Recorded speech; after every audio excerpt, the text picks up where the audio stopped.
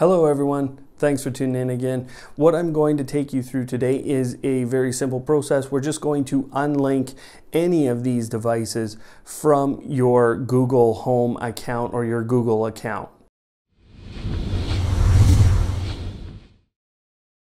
So as I said, this is a really simple process. What I'm going to do is simply go into my Google Home application. Now, what you have to make sure is that you're on the account, and I know you can't see it right now, but the account that is linked to the Google Home device that you want to unlink. So what I'm going to do is unlink this Google Home Mini. It's actually called Mini, so I go into my devices uh, screen, which is top right in the Google Home application. And then I scroll down to find it. You can see the word mini here and I tap on the three dots to the right of it. I tap on settings and there's a linked accounts that comes up right on the screen here. So you can see that in this case, there's only one linked account. So I'm going to go ahead, tap on that and I can unlink that account because again, I'm in the right account. So I'm going to go ahead, tap the X and then the unlink button. And now it's removing that account. Now you can see